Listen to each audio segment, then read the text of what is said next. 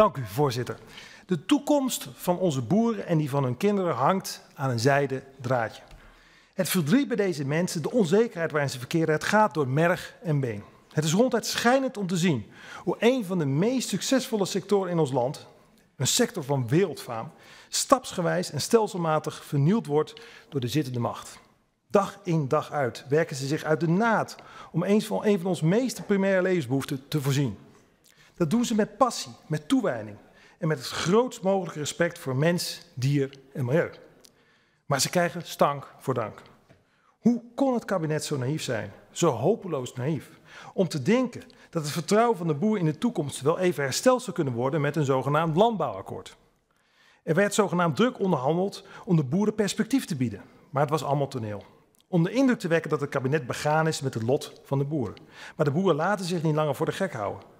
Farmers Defence Force zag al direct dat met deze regering niet te onderhandelen valt. Agractie gaf het nog een kans, maar toch snel dezelfde conclusie. En vorige week is ook de laatste belangengroep, notabene de kartelgezinnen LTO, tot onze grote vreugde gestopt met deze schijnonderhandelingen. Er viel ook niet te onderhandelen, want de uitkomst stond al vast. Hoe kun je boeren perspectief bieden als al besloten is dat ze hun levenswerk moeten beëindigen? Voorzitter, zolang het kabinet zijn sluipmoord op de agrarische sector voortzet, kan van herstel van vertrouwen vanzelfsprekend geen sprake zijn. Het doodvonnis is getekend en er mag alleen nog worden gesproken over de vraag of dit in 2030 of 2035 gerealiseerd moet zijn. En het meest pijnlijke is nog wel dat de motieven waaronder het stikstofbeleid wordt verkocht niet deugen. Het beleid zou noodzakelijk zijn om onze natuur van haar dreigende ondergang te redden. Maar iedereen die zelf de natuur intrekt, kan met eigen ogen zien dat dit een leugen is. Het gaat goed met de natuur. En metingen bevestigen dit ook, voorzitter. Het gaat goed met onze bossen, de oorspronkelijke inheemse vegetatie van ons land. Bomen worden dikker en ouder en sinds kort groeien zelfs meer loofbomen dan naaldbomen. Goed voor de biodiversiteit, want loofbomen trekken meer verschillende soorten plant- en dierensoorten aan. Het gaat ook goed met onze Natura 2000 gebieden. Vorige maand nog bleek uit onderzoek dat de soorten in deze gebieden over de hele linie, van vaatplanten tot vlinders en van vogels tot vissen, stabiel zijn of zelfs vooruitgaan.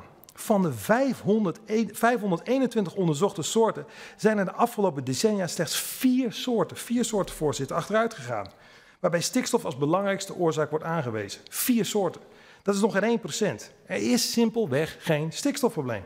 Mijn vraag aan de minister is dan ook, waar in Nederland staat de natuur, om in haar eigen woorden te spreken, op instorten? En waar blijkt dat dat door stikstof komt?